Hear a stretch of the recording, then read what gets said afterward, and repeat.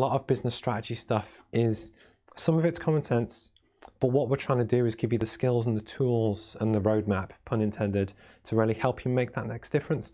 But one of the challenges when you're looking at personal development or how you grow a company, and again, these are the same thing, you have to identify what strengths and weaknesses that you have and then build around it. But one of the fundamental problems that I believe exists is that how do you know what skills to add? How do you know what skills you need?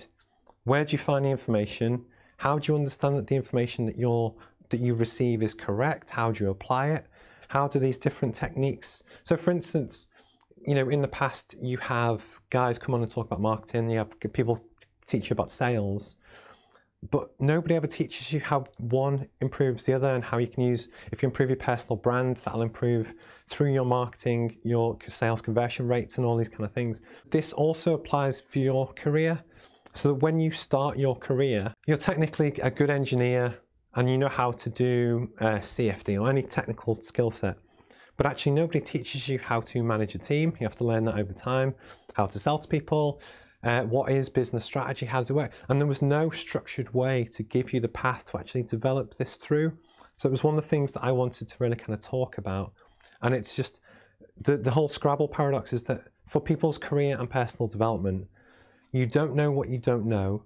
You try and look for books which are interesting, but one of the big issues with a book is also that traditional kind of business books, you can go to Waterstones or order it on Amazon, but the issue is it's one way so it assumes that the reader actually understands what it says, that they have the time to read it, that the, that the author has made it relevant to the audience, and actually it's one way, there's no way to ask questions. So one of the things I wanted to do when I created the Roadmap MBA was to solve a lot of these issues that for one, you can actually help people walk through the journey, what's required to grow SMEs. And again, the reason why I pick SMEs almost as a niche one of the issues you have in really big companies, so in Google, McDonald's, Coca-Cola, Rolls-Royce, whoever, companies that are that big can actually have people that are just a 10 out of 10 specialist in marketing or strategy or sales, and they've got 40,000 people worldwide. So actually what you have is teams of specialists that all actually do their own role, and they do it very well. That's fine for traditional education, but in SMEs, as Cheryl pointed out before, she has one background, but she's also asked to do HR, she's asked to manage people, she's asked to sell to people. And people in smaller companies are asked to wear multiple hats just to survive and do what they do. But nobody's ever taught people how to do and what hats to wear and how to do it. When you look at everyone's skill set, you have person one, person two.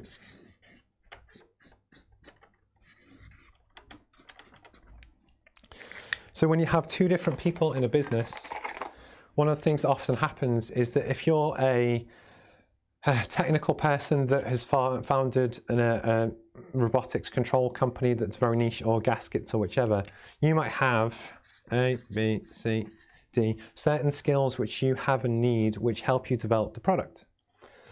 But there's certain things that you might not have, which is to the creativity and the branding and the you know, lots of other things. But then likewise, person two, who might be from more of a creative marketing background, might actually have X, Y, Z, etc.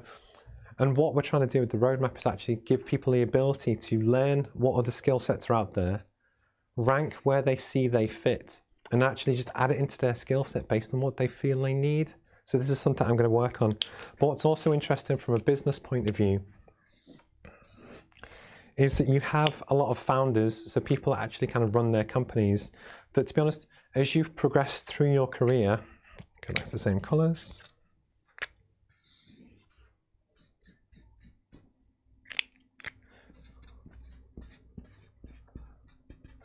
If you're the founder of a company, you've probably got a very good broad skill set where actually you're kind of good across the board.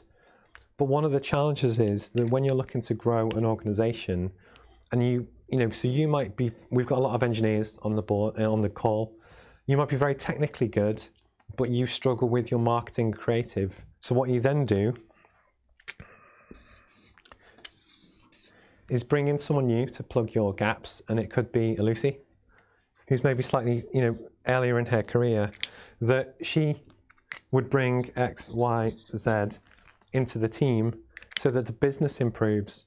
But then actually, if you're the MD, how do you teach Lucy the other skills that she needs to know and how do you bring this together? And that was just where I thought that the the Scrabble analogy is quite good because we're all asked to get the highest score we can with the tiles we've got. But the truth is, through personal development, a few, you know, through a few different things, you can add new skill sets and really work on a few different things to help you improve. And actually, that is as true in business as it is for a person as well. And it was just that kind of idea that I wanted to talk about today. For business growth, now that we've kind of set the scene, what is it? And then crucially, how do you know you're doing the right thing? One of the things where I think most people go wrong is you start here and then they say through sales and marketing, how can we increase your reach? How can we sell to more customers? How can we convert more sales? How do we prospect, etc. And again, we cover that in the roadmap. But the one crucial thing that it gets wrong is nobody actually ever asks, how do you know you're doing the right thing? Because likewise, so you're going to have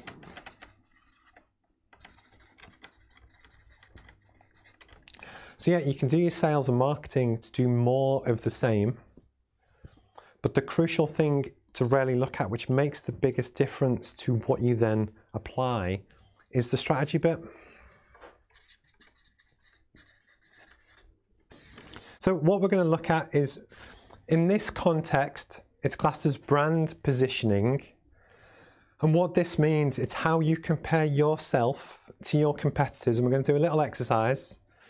But it's really important to do this, and I'll explain why, because if you can get this right and some of the other stuff we're going to look at in the rest of the kind of session, this is part of the thing which makes the real difference. You're trying to find the benefits of what your niche is, and that's part of what we then communicate and tell the world. When you're looking at your differentiation, is that a major part of what you find out is different is what your client's buying driver is. So I'm going to jump back to that. Cheryl, just out of interest, why do people buy stuff from you as opposed to anyone else? So relating to this, but you all get the idea that even for FW Capital or for me, you can plot out why and how you're different to competitors. And actually, once you understand it, a prime example with where's the book gone? There. So traditional business education books and courses, they're cheaper. Um, and there's other benefits to it that it's portable. Obviously, I have the roadmap as well. But the weakness, if I was to position it, there's no interactivity. You can't ask questions. There's no videos. Um, some, sometimes a lot of business books they say stuff in 200 pages that you could say in two. But this is where your strategy and your execution is really important. That when you know what the buying drivers are for your customer, which is what we're going to touch on now, it's then how you get that right, which is all about the business strategy thing. So what we're going to do is look at building customer profiles. You don't have to read this. You'll get it in the. But what we're going to look at, and if, if again everyone can get their piece of paper, actually I'll just do it on here.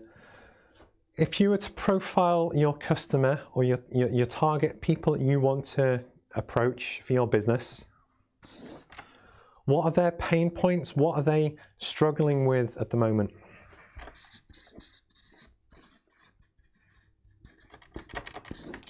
But one of the big things that you're looking at in a business strategy point of view, that's a decision that we can make which allows our ability to grow and do well.